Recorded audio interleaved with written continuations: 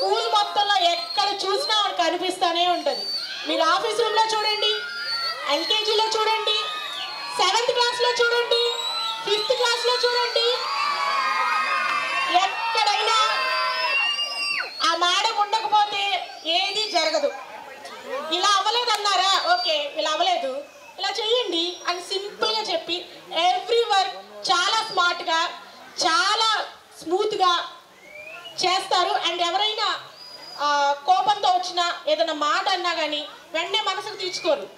వాళ్ళు ఏదో ఇప్పుడు కోపంలో ఉన్నారు తర్వాత వాళ్ళు తెలుసుకుంటారు అని ఒక మంచి మనసుతో పిల్లల్ని ఎంతో ప్రేమగా వాళ్ళు ఒకవేళ తప్పు చేసినా వెంటనే వాళ్ళ మీద ఎక్కువ కోపడకుండా వాళ్ళు సరిచేసే విధంగా మాట్లాడుతూ ఉంటారు.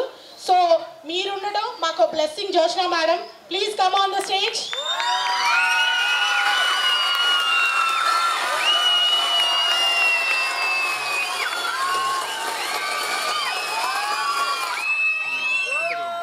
teachers అందరూ కరెక్ట్గా వర్క్ చేయడానికి కానీ వాళ్ళ టైంకి రావడానికి కానీ ఎవ్రీ వర్క్లో మోటివేషన్లో కానీ ప్రతి దాంట్లో జోష్న మేడం ఎఫెక్ట్ ఈ స్కూల్ డెవలప్ అవడానికి maximum part Joshna madam thank you madam thank you for everything madam